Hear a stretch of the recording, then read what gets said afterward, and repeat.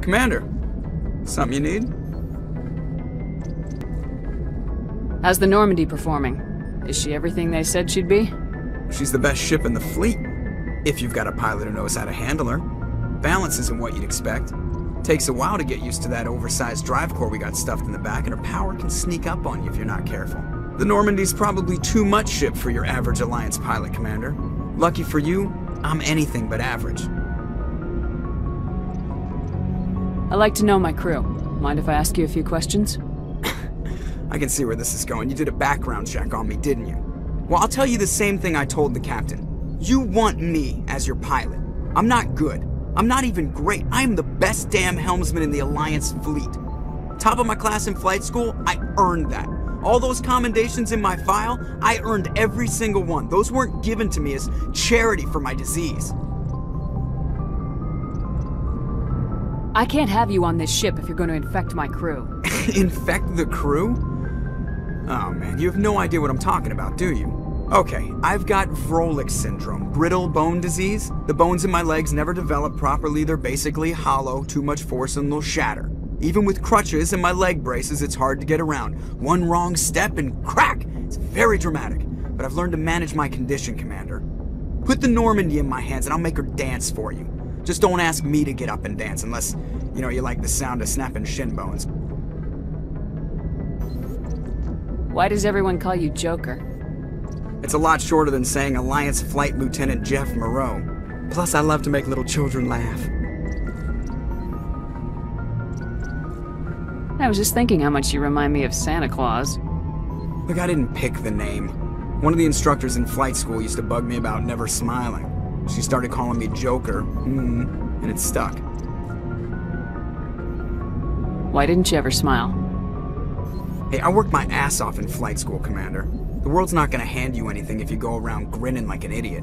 By the end of the year, I was the best pilot in the academy, even better than the instructors, and everybody knew it. They'd all got their asses kicked by the sickly kid with the creaky little legs. One guess who was smiling at graduation? I need to know more about this Vrolik syndrome if I'm putting my ship in your hands.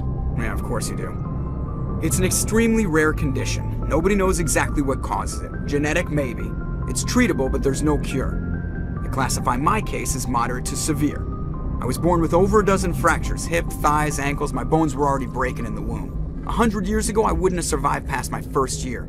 Lucky for me, modern medical science has turned me into a productive member of society. You're not gonna break a bone trying to fly the ship, are you? Uh, I don't fly with my feet, Commander, so I'm fine as long as I'm in this chair. I gotta be real careful when I get up to take a piss, though. I can do my job as well as anyone on the ship. Better, actually. So don't worry about it. I'm not trying to make you uncomfortable. Let's talk about something else. Whatever you want, Commander. How'd you end up joining the Alliance? Look, if you're looking for an inspirational tale of the crippled kid overcoming impossible odds, you're gonna be disappointed. My mother was a civilian contractor working for the Alliance. I basically grew up on the Arcturus station back when they were building up the fleets. Spend all that time around Alliance ships, there's a good chance you'll end up going to the Academy.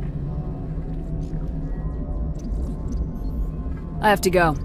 Alright, see you. If anyone has to take over for Captain Anderson, I'm glad it's you. I'm not sure about having non-humans on our ship, though. I'm in charge here, Pressly. I decide if we have non-humans on this vessel. Yes, ma'am. Understood, ma'am. Speak freely, Pressly. I want to know if you have a problem with non-humans. It's not that, Commander. Humanity has always handled its own problems. Saren attacked one of our colonies. We should be the ones to stop him. We don't need their help. Some people think asking for help is a sign of weakness. That's just being stupid and stubborn. No matter how strong you are, allies can make you stronger. I guess so. Maybe I'm just stuck in the old ways of thinking. But don't worry, Commander. This won't be a problem. How did you end up assigned to the Normandy?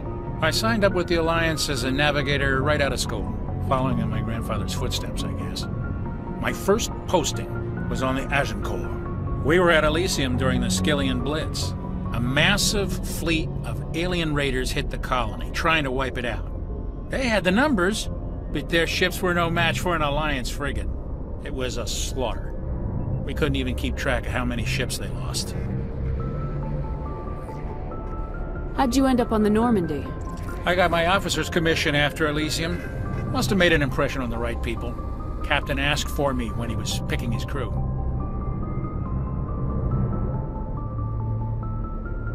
Carry on, Pressly. Yes, ma'am.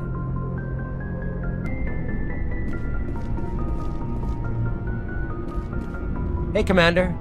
Looking for some extra supplies before you head out? What have you got? Whatever you want. Armor, weapons, mods. It's not standard Alliance issue, but that's not necessarily a bad thing. Well, as long as you don't mind paying for it. Why should I pay you for my weapons and armor? My stuff doesn't come from the Alliance. I have to purchase it myself, and it's not cheap.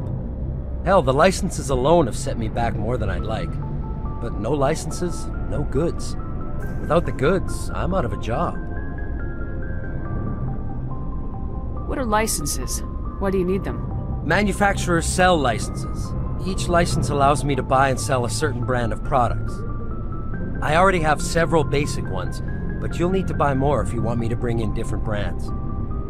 Many of the best licenses are hard to get, but they're well worth the cost if you can find them. What do the different manufacturers offer? There are too many for me to keep track of, but each license will explain what it's good for. How often will you get new items? Well, that depends on how many licenses you've purchased, but I'll rotate items on a regular basis regardless. And anytime we land someplace with a big enough port, I'll buy, sell, and trade whatever I can. Check back often. I need to move items quickly, so only the most basic items will be stocked consistently. Let's see what you got. You bet. Thanks for bringing me on board, Commander. I knew working with the Spectre would be better than life at C-Sec. Have you worked with the Spectre before?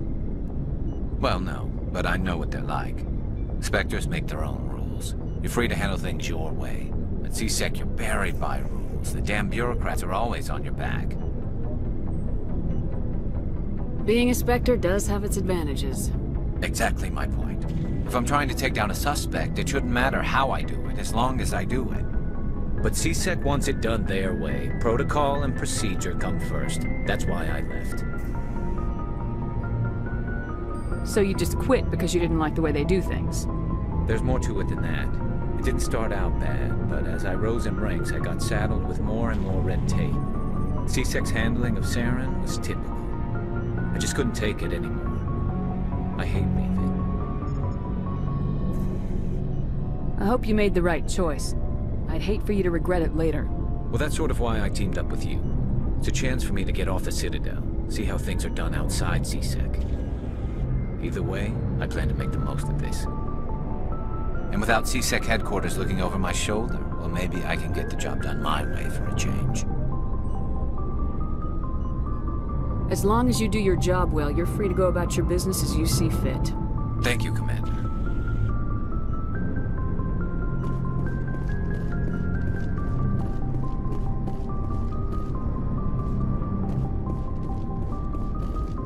Commander? What's your opinion of the last mission? Kinda wish you'd got there sooner, Commander. No offense, I appreciate the rescue. I just wish... You wish we'd been able to save the rest of your unit. Yes, ma'am. If I had been more alert, we wouldn't have been cut down by an ambush. The answer seems plain enough to me. Be more alert. Aye, aye, Commander. I'll make sure it doesn't happen again. Do you have a few minutes to talk? One-on-one? -on -one? I'm sorry, Commander. I need to get my duty squared away. I wouldn't mind talking more later, though. Dismissed, Chief. Ma'am. Nice ship you've got, Shepard. What can I do for you? What's your story, Wrex? There's no story. Go ask the Quarian if you want stories.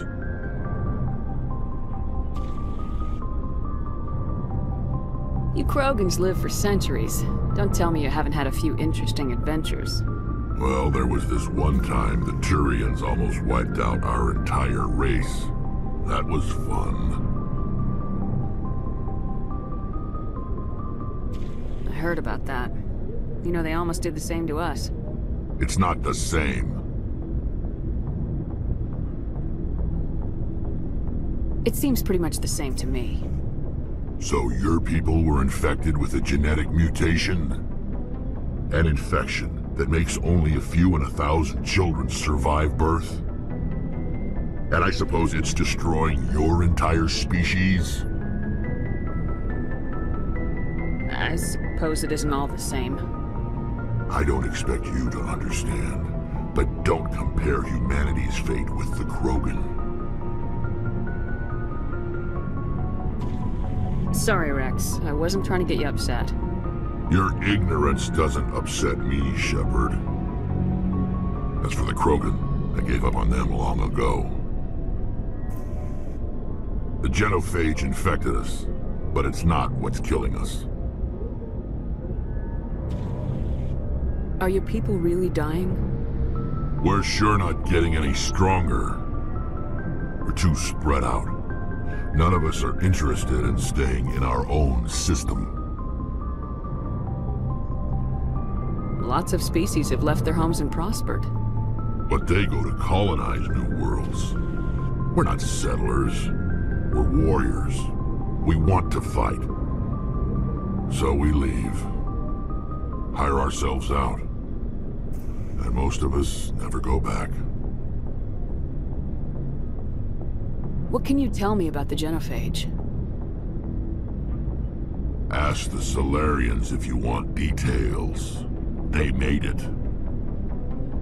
All I know, it makes breeding nearly impossible. Thousands die in stillbirth, and most never get that far. Every Krogan is infected, every one.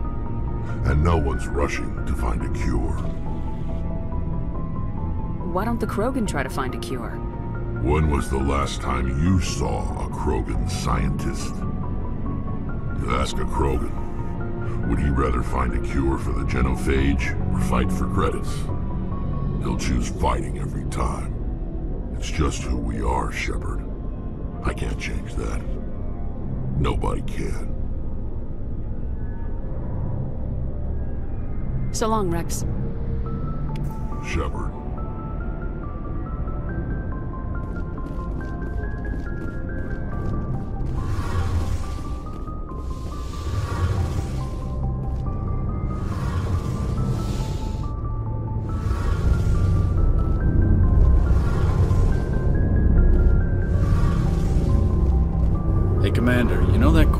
Tali? She's been spending all her time down here asking me about our engines. I'll tell her to leave you alone. What? No, she's amazing. I wish my guys were half as smart as she is. Give her a month on board and she'll know more about our engines than I do. She's got a real knack for technology, that one. I can see why you wanted her to come along. I figured she'd be a real asset to the team. You've got an eye for talent, Commander, but I'm guessing that's not why you came down here.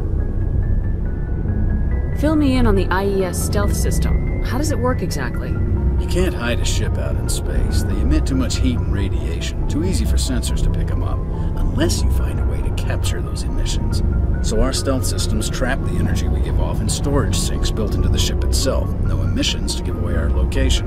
Eventually the sinks have to be vented. More than a few hours silent running and they overheat. Cook us inside our own hull. There's no way for anyone to detect us? Visual scan can still pick us up. Anyone looking out a window can see us plain as day. But you have to be pretty close to get an actual visual out in space. Most vessels rely on scanners. As long as the stealth systems are engaged, they can't see us. Not unless we accelerate to FTL speeds. Why doesn't it work with faster than light travel? Cranking up the FTL blue shifts our emissions, pushes them into frequencies too high to capture in the sinks. As soon as we make the jump, it's like setting off a flare. Sensors can pick up our location whenever we enter or exit FTL flight, but for short-range missions, our stealth systems are amazing, and we've got the only one. I want to know more about the Normandy. She's the best ship I've ever served on. Probably the fastest vessel ever designed. And she's the only one using the new Tantalus drive core. What's so special about the Tantalus drive core? Proportionally, it's about twice the size of any other vessel. Not only are we faster, we can run at FTL speeds longer before we have to discharge the core. Where else have you served, Adams? If you name a class of Alliance ship, I've probably served on it. Everything from dreadnoughts and carriers right down to frigates like the Normandy. My last assignment was on the Tokyo, only a cruiser, but she was a good ship. Couldn't hold a candle to the Normandy, though.